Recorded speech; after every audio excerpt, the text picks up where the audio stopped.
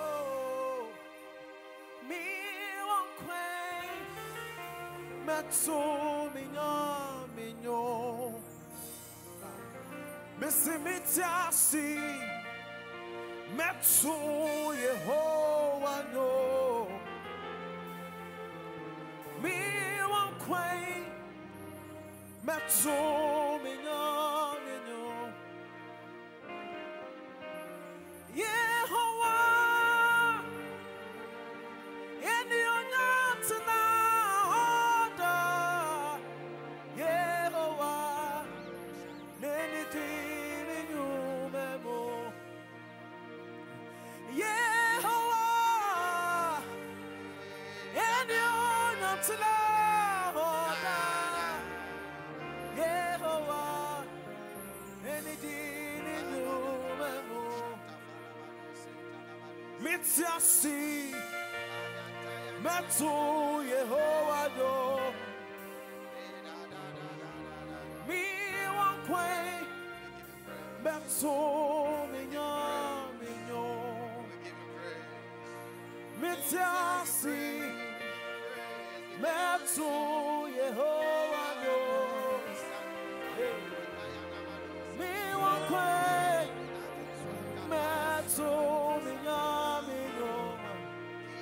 Missy Abramitiasi. Metsu Yehovah knows. Ah. Me one quay. Metsu minyamino. Me who me. Metsu Yehovah yo.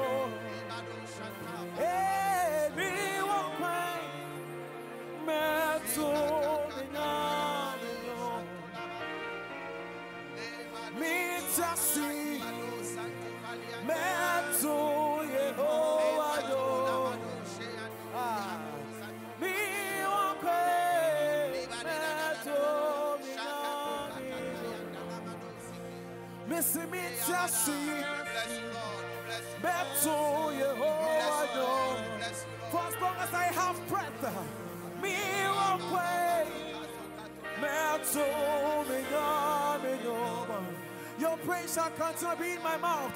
Mitasi. Metsu Yehovah yo. Me quay. Metsu minamino. Hey. Yehovah. Yeah,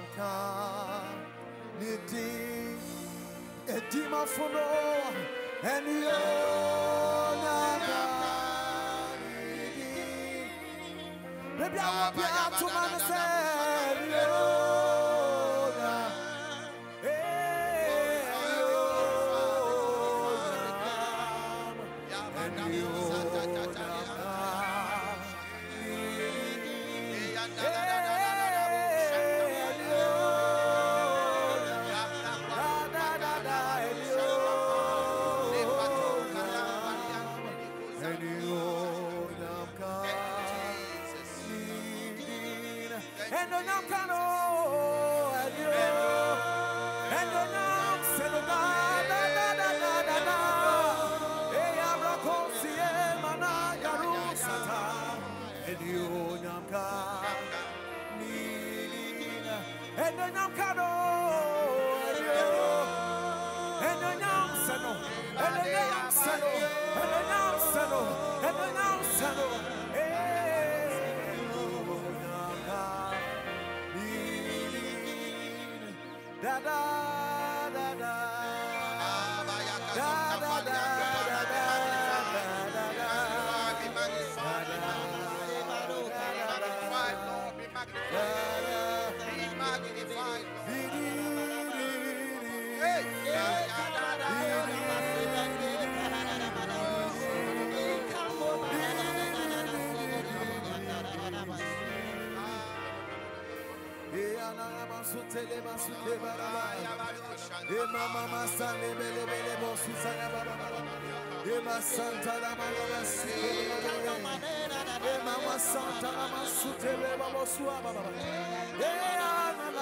kosele mana mana masike le baba i mata sote le bele.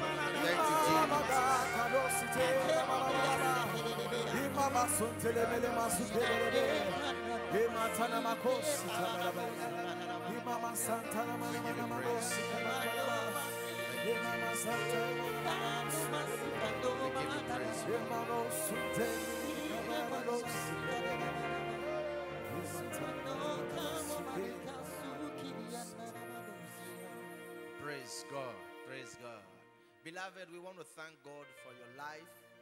We want to thank God for his mercies. We're thanking him for his loving kindness.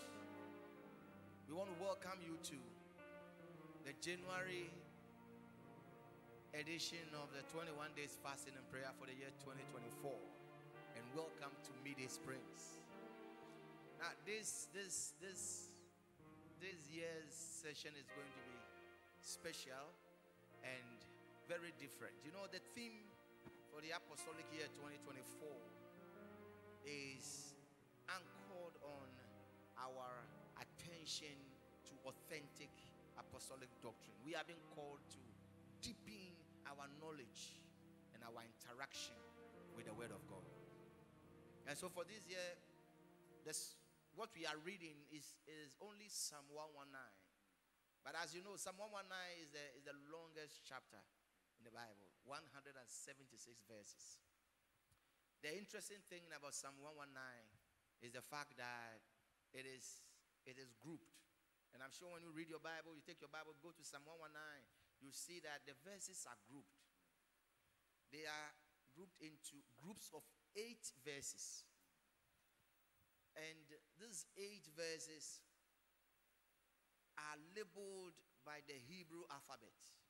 So 8 times 22 is what gives us the 176 verses. And these, these, everyone, every single verse has something to say about the word. And if anyone wants to fall in love with the word of God, sometimes one of the places to go to read about the word of God in the word of God is Psalm 119. And so, and so this season we are going to focus on the 15, the first 15 alphabets of the of the Hebrew um, um, alphabet. Okay, and and we are going to look at block. Each block is labeled by an alphabet.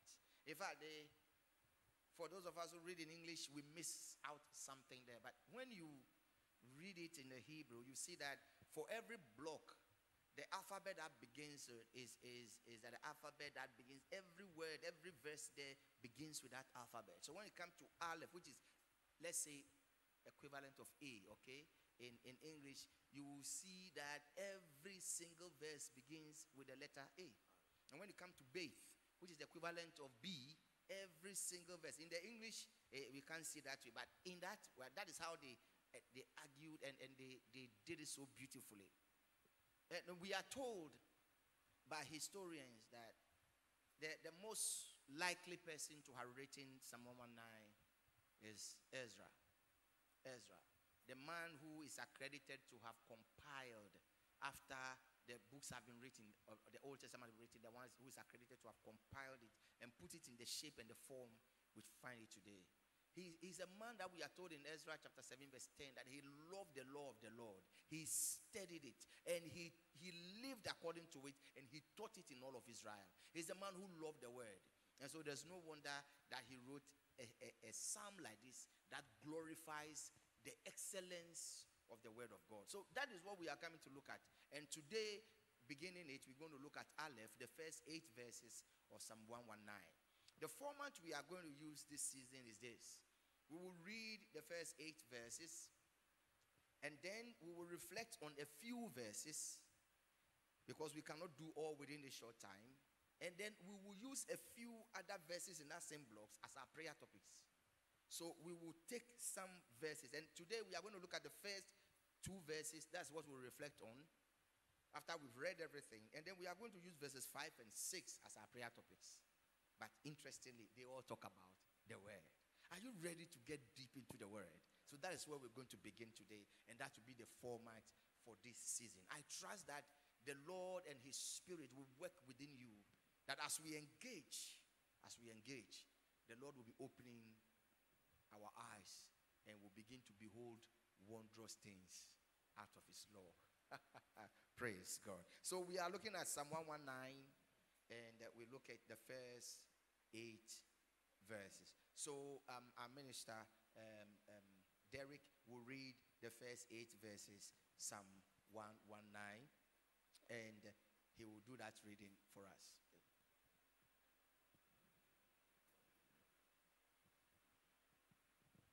Praise God. Shall we make here and listen to the reading of God's word? Psalm 119 from verse 1. Blessed are the undefiled in the way who walk in the law of the Lord.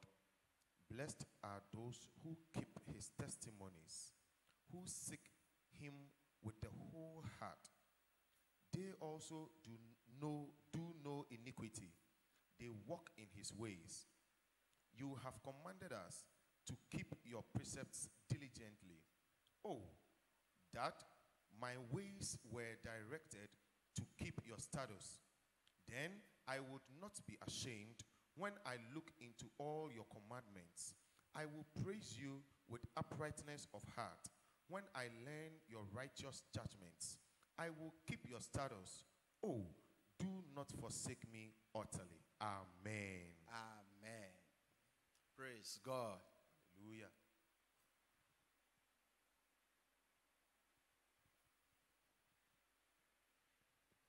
So, so like I said, we just want to reflect on the first two verses. Just listen to what he says. Blessed are the undefiled in the way, who walk in the law of the Lord. Eh, eh, eh, can you get what he's saying? He says that there is a certain particular group of people who are blessed.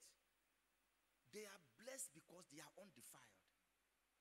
They walk in the way of the Lord, and the filth of their world, no matter how great and strong and mighty they are, the filth of their world will not defile them.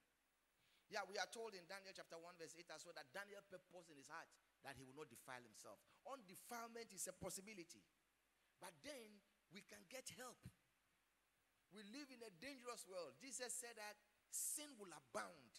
And because sin will abound in the last days, the love of many shall wax cold. But the Bible says that there are some who are able to walk in the way and they walk undefiled. The Bible says, Blessed are those people. That word blessed means that they will be envied. God will release favor upon them. He will release His mercy upon them. He will release goodness and mercies upon them that the people that surround them will be jealous. Blessed are the undefiled in the way who walk in the law of the Lord. And what now makes them undefiled is that they have sought the law of the Lord and they walk according to the word. The word of God is able to keep them undefiled. It is not by their might, but it is by their knowledge of the word and their simple obedience to it. They become blessed, undefiled in the way. I know that there are many Christians today, many believers. Absolutely no genuine Christian is happy when he or she gets defiled. No Christian is happy. Many people struggle. Many people in their closet, they cry, they weep, they mourn, they wish they are out of, of, of the snare. But the word is teaching us the key. Learn how to walk in the law of the Lord. And it will not be difficult for you to walk in the way undefiled. But how do you walk in the law of the Lord? Verse 2 says, Blessed are those who keep his testimonies, who seek him with the whole heart. So that is where the secret is in walking in the law of the Lord. It's about seeking the Lord, seeking his word, loving his testimonies with your whole heart. And what does that mean? Your heart is the center of emotion where decisions and choices are made. it is a place of affection. It is your heart that determines what you have fallen in love with and what you have hated. To say that you seek Him with your whole heart is to say that your love, the supreme preference of your will, is to know the Lord and to understand His word. When you use the supreme preference, what you love most in your life, what is the number one thing in your life? You decide that God, you are the one that I will love, you are the one I'll cherish, and I'm not going to give space in my heart for something else. You are going to be the primary thing there. Then you are seeking the Lord with your whole heart. If you are able to start that journey, then it says that it becomes easy for you to fall in love with Him. And once you fall in love with Him, you obey Him. Remember what Jesus said? He says, If you love me, you keep my commandment. To keep the commandment, to walk in the law, to obey His word, it's something that is not compulsion. It, it always comes from love, it flows from love. What it means is that you love the Lord in such a way that you don't want to offend Him. And so it is not so much about that you are so powerful, it is just that you love. And you know that when people, young people are in love, they find it difficult to offend each other. You, you just don't want to offend. And when one offends the other, some people commit suicide because they feel so hurt. How could you do this to me? Because I love you with all my heart. When we also love God with all our heart, we don't want to offend Him. So the secret is to love the Lord. That is why Jesus said that the, the whole of the Old Testament put together is in two words or two sentences, two commandments. Thou shalt love the Lord your God with all your heart, with all your mind, and with all your soul. It's about loving the Lord. How much do you love Him? Because if you love Him, it becomes easy for you not to offend Him. Let me put it that lightly. If you love Him, it is easier for you not to offend Him, much more difficult to offend Him. But when you don't love Him that much, you hate Him and you don't feel it. That is why people can take guns and shoot other people, but they cannot shoot their friends and their wives and their children. They want to protect them. Have you seen an armed robber? Have you seen a murderer protecting his family? He loves them, but he kills other people because he doesn't love them. If you love the Lord, you will not offend him. How much love do we have for him?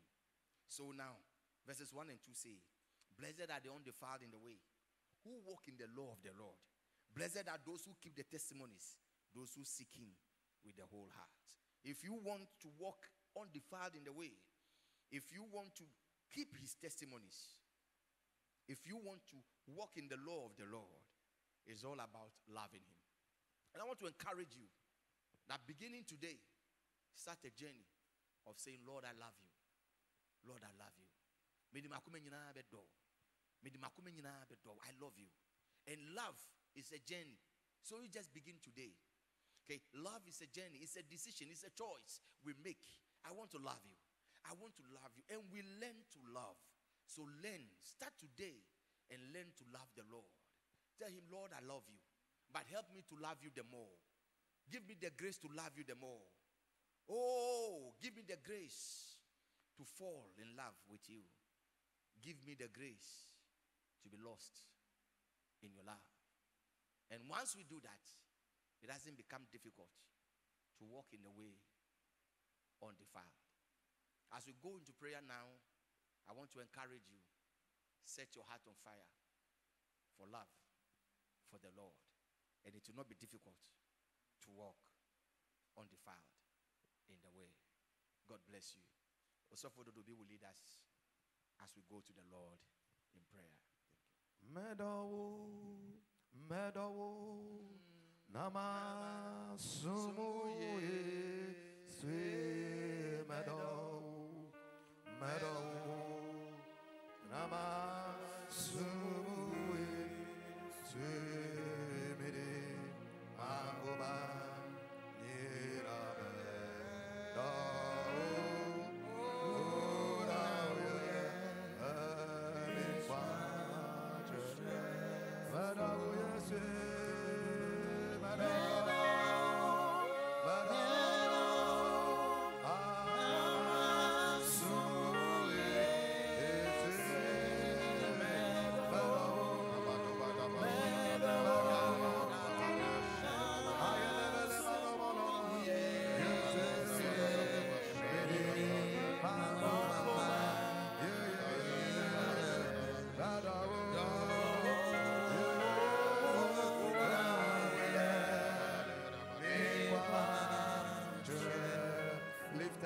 Voice wherever you are. Begin to bless the name of the. Lord. For the word that has come unto you this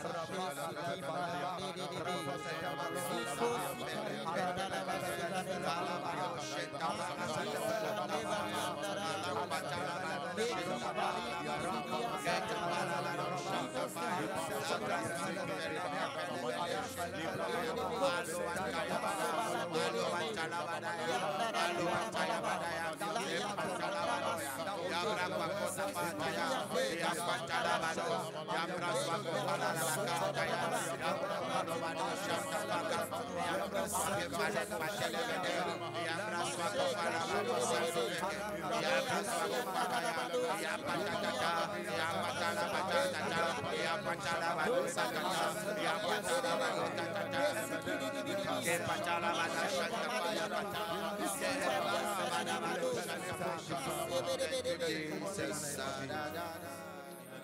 Our first prayer is that Lord, Lord, help me to make my way steadfast before the Lord, that I obey your decrees. To be able to do this, you need to love the Lord.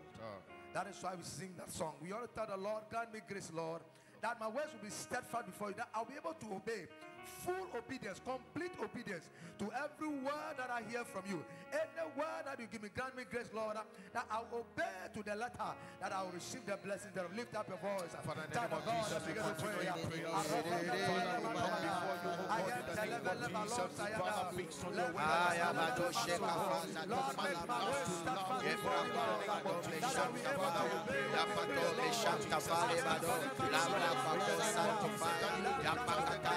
that I'll be able to obey your decrees, Lord. Yepala Lepato palea kazakate, ya praso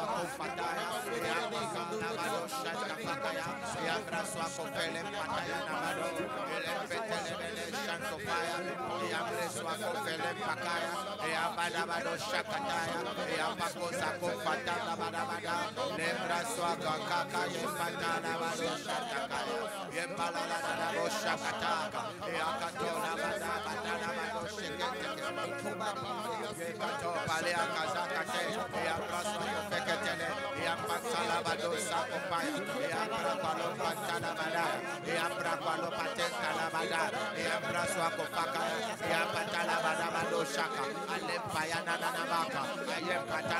na bo shaka,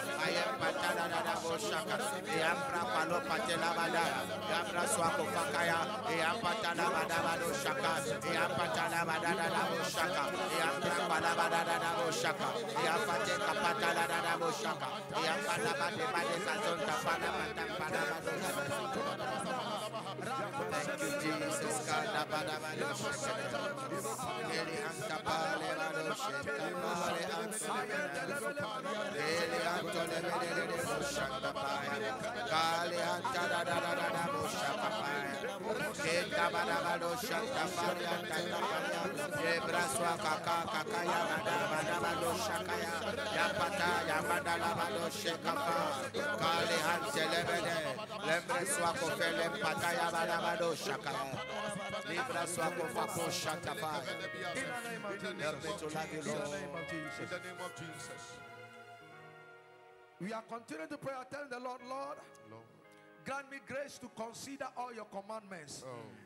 That I will not be put to shame. He says Ah. that I will not be put to shame when I consider all your commandments. You will never be ashamed when you take hold of the word and walk with it. You are telling Lord, grant me grace to consider your commandments, to consider your laws, uh, to consider your statutes. Every word that you speak to me, grace to consider it, Lord. uh, That I will never be put to shame. I will follow your word. I will follow your leading, Lord. Lift up your voice, shout of God. In the name of Jesus, in the name of Jesus.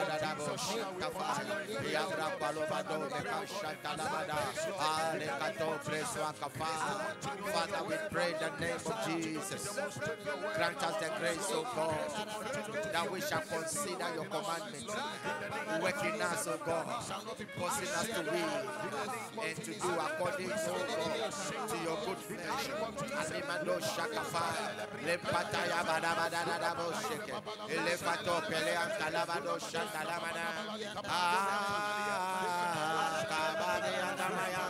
Lembre santo fele bede de de bo sheka ya namana. Kela broswa kafale antole bado sekafaya. Le kato pele kofaka ya bada. Lembra kafala de de de. Lembe de bede.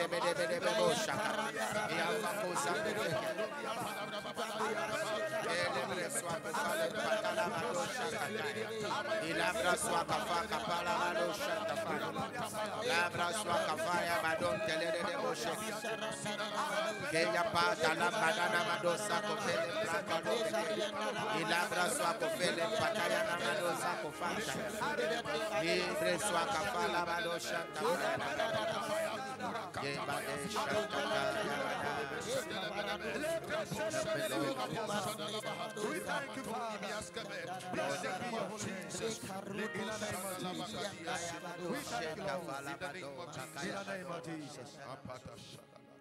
Child of God, you want to pray and tell the Lord, Father, Father, grant me grace to love you to the latter. See, when the love of God constrains you, all you will have to do is just to follow all that He's telling you to do. You are telling the Lord, grant me grace, Lord, to love you with all my soul, ah, with all my mind, and with all my mind. Let tell the Lord I should grant you grace to love Him with everything that you have. That at the end of the day, ah, you follow everything. I lift up your voice the top and cry to the Lord. Grace to love the Lord. Lebre santo fele Lebre santo fele Ia cosanta faria catamba tarado shata Lebre santa fale anta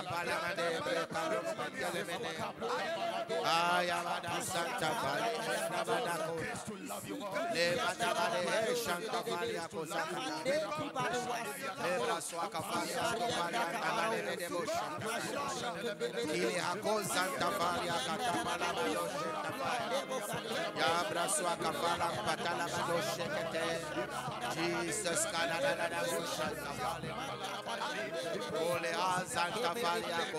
fale anta vade de bosha Ile akozanta fale akatapa la badoshe Ya braswa kafala patala badoshe kete Jesus kana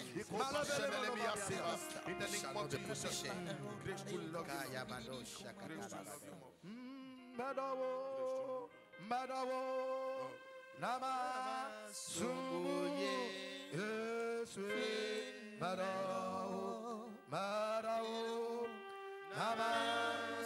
Jesus. Grace to love you. Father, we thank you. Thank you, Lord.